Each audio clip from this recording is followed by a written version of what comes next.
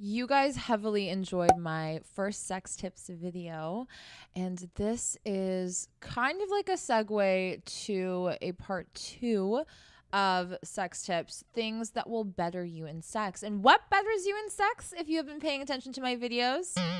And for those that haven't, it shows. Education. I'm your sex ed teacher. I have been nominated. It is what it is. Sex ed is really not doing much for all of you. So here I am. You're welcome. We're going to talk about the erogenous zones on your man's body. An erogenous zone, just so we're all clear, is basically a zone or area on your body that is sensitive to sexual stimulation. This can really spice up your sex life and in turn make you better in sex. A lot of us actually don't really know where the erogenous zones are on each other's bodies. And that's a big no no. We're about to change that. I'm going to kind of go from the top to the bottom ish. So let's start with the scalp. We all know what a good fucking scalp massage does to both the ladies and men.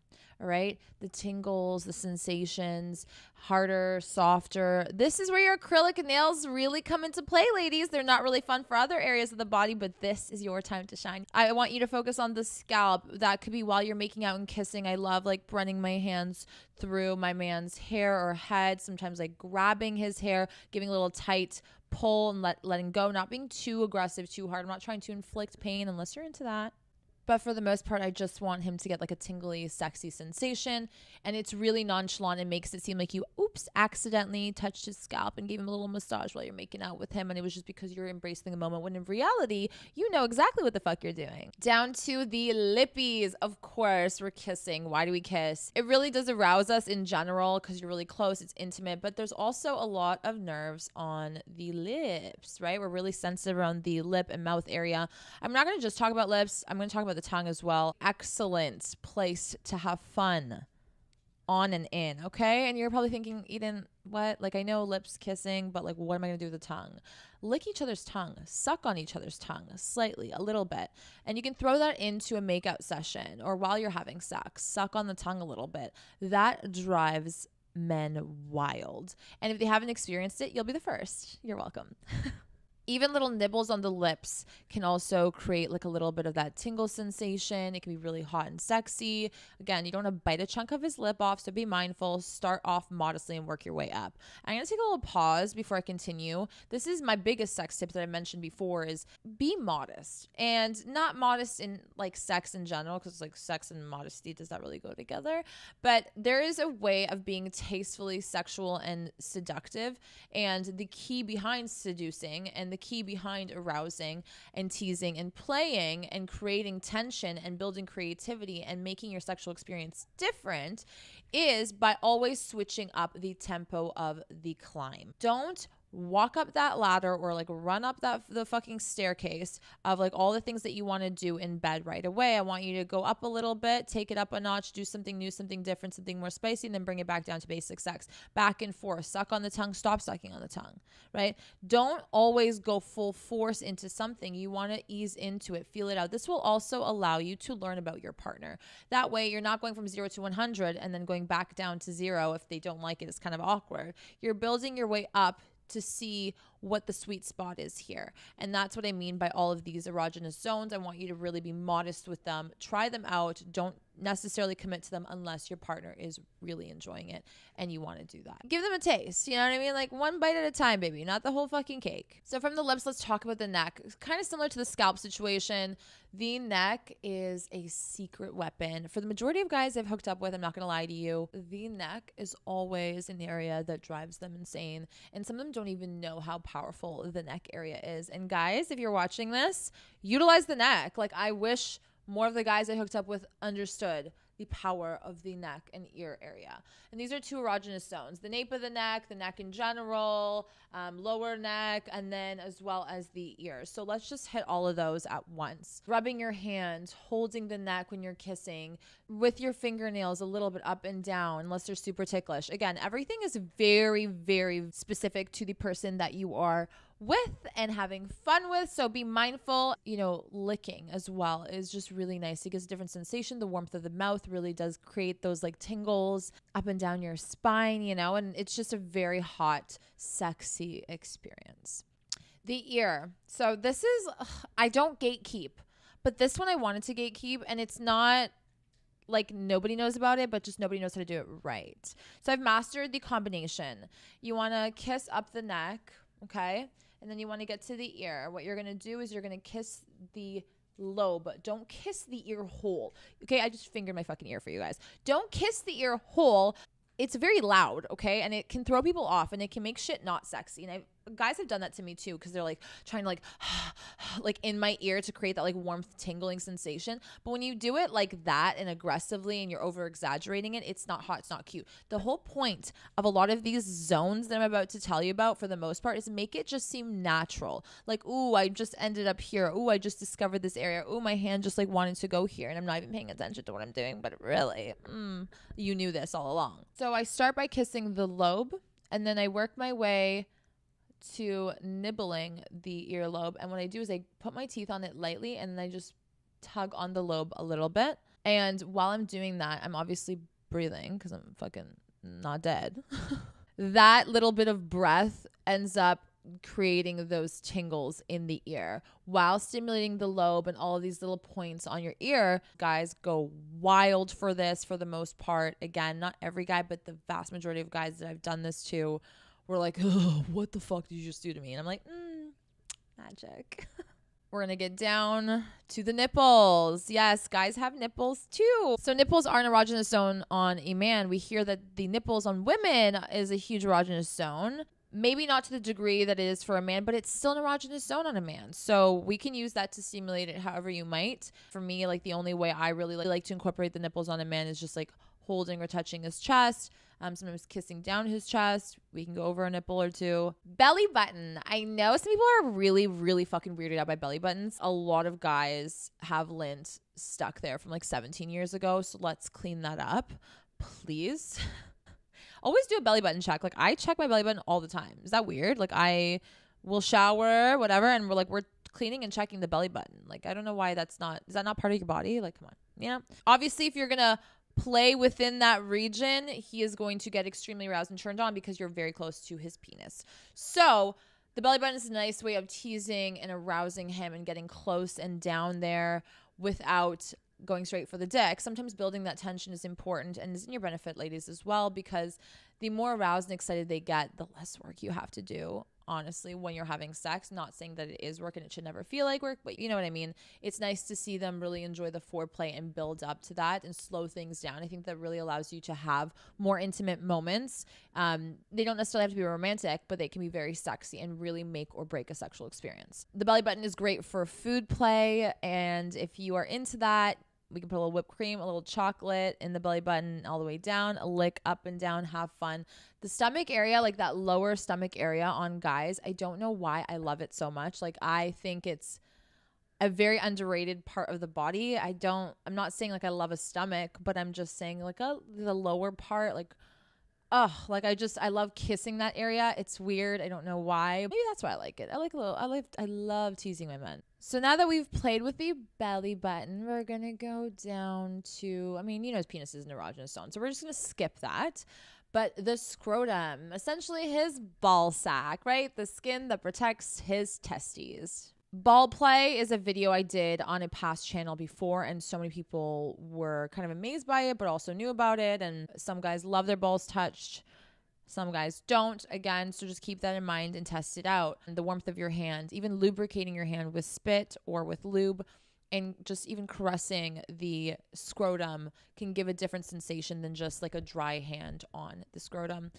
Your mouth, obviously, even just like warm breath is exciting and tingly. Licking, sucking on the balls, you know, whatever, like that whole area. I can do a, more in depth video because there's so much that you can do with that that I think would benefit my ladies that want to know more about it or my gentlemen that want to know more about it. The lower back is a an interesting spot. I find it's a hit or miss for a lot of men. It does provide that tingly sensation, but it's borderline ticklish for most people. Depending on the sex position you guys are in, holding onto his hips or the back, right? So if he's missionary, for example, it's like hugging his lower body and having your hands kind of caress his lower back as well, as well as his butt. A lot of guys like their butts, the butt cheeks touched, yes, squeezed, things like that. They enjoy it Hands. Okay, I have like potentially a hand fetish ish, perhaps. I don't know. Fetish is, is a big word, so not a fetish. A man's hands. Like, if you have a good hand, like, oh. And I'm not talking like purely manicured and like buttery smooth and soft. Like, that's not my jam. Could be your jam, no problem. But just like a nice big man's hands great fingers. Like, do you know what I mean? You know what I mean? Like, I'm turning myself on right now. Our hands have a lot of nerve endings as well, right? Like different parts of our fingers, our finger pads, right? What are these called? The, the pads of the fingers, right? Yeah, I, th- I think I'm onto something. Sucking on fingers, totally underrated. A must. Suck on his fingers, put them back in your mouth do what you got to do like play with them even holding each other's hands while you're having sex is yes it's a little bit more romantic but it, it feels good it's intimate it feels like a bonding experience it's really lovely don't neglect the hands. Just don't play with them, hold them, do things to them. Just enjoy them because sometimes they do things to you and we love it. Okay. so thank them. The inner thigh is a fun place for like teasing before oral sex, I find. So, like kissing up the inner thigh for a man, it's an erogenous zone for sure. Um, touching it. But again, is also known to be extremely ticklish for a lot of guys. So be careful of that. Some people hate being tickled. Don't disrespect that. I hate being tickled and I find it extremely painful and annoying and just uncomfortable. So I get the people that don't want to be tickled. It happens. Move on or apply more pressure. On ticklish areas, you want to apply slightly more pressure. Again, I'm not saying fucking you know, grip him and like rip his skin or inflict pain, but I am saying just be a little bit more with the pressure that you decide to put on that area. So, like, if I'm kissing, I'm gonna just like, you know, because it's nice and, and chewy and fatty there, like, I'm gonna, you know, press a little bit harder. I'm gonna like, like a little bit deeper. Like, I'm just going to be a little bit more heavy than I would on other more softer areas of the body, if you get what I'm saying. And then I work my way up to the scrotum and I can play around with that. So I'm utilizing a bunch of erogenous zones and it kind of is like a pathway to the penis. So it's like, da, da, da, you know, we're building it up, the tension. Oh my God, that feels different. That feels good. That feels interesting. That's new. And then boom. We're going to talk about the perineum, which is a like little patch of skin that's extremely sensitive with nerve endings between his scrotum and his butthole. Okay? And his butt hole and all of that is definitely an erogenous zone. The male G spot's located inside the butt. Yes, for a man. If you've got nails, please stay clear of that area. We don't want to do any damage. But this is a great area for those that want to experiment with potentially butt play on a guy, but are not interested in going full throttle into that, no problem. Work your way around this area and lick. This will also show you if your man is into, you know, you going down there. Most of them are. So once you're playing with the scrotum, go down to the perineum area, which is just like the skin dividing the scrotum area to the butt. And again, licking, even taking your finger um, and just like touching that area too softly and gently can really stimulate sexual pleasure and elevate the experience. So, definitely worth a try. Be careful with your nails, it's extremely sensitive down there. The back of the knees, it is an erogenous zone. And I'm going to be very honest with you, I haven't experimented with that area much, but I understand why it would be because even on me, I feel like that's a sensitive area um, even licking that area. Like that's something I'm gonna try my man and I'll report back. We'll see how it goes. If you're kissing his thighs, maybe he's standing up and you're about to perform oral sex on your knees, which is super hot. Maybe as you're like licking or kissing his thighs and working your way up, you can kind of like feel around that area. But that is like a secret spot that I feel like a lot of people don't know about but exists. Last but not least, and something I don't want to spend too much time talking on is feet. Feet are, again, nerve endings. They have pressure points on them as well that stimulate different parts of your body. We know this through foot massages. The body is a wild, crazy place, and certain areas of your body can stimulate certain systems, like the circulatory system, which increases blood flow. You know, that's what the back of the neck and ears do. Um, that increases blood flow and makes you feel nice. The reason why I don't want to talk about feet so much because I'm actually traumatized from feet. um, I was dating a guy with a foot fetish, and I spoke about this on another podcast, and it was extremely severe, or got extremely severe, and I am still uncomfortable talking about it. So I'm just being really vulnerable and straight up with you guys. Feet are great to incorporate into the bedroom if you are comfortable with it. Obviously, I myself am no longer comfortable with feet play on a man or to be done to me. So it's become a sensitive topic. I'm going to be doing a reveal all, tell all podcast and video soon on a private channel that only a few of you will have access to down the line. I'm working on that. So I'm just letting you know. That's why you should subscribe and stay tuned. There's a lot of juicy stuff coming that goes beyond just me being your sex ed teacher and dating coach. A lot more personal stuff if that interests you at all.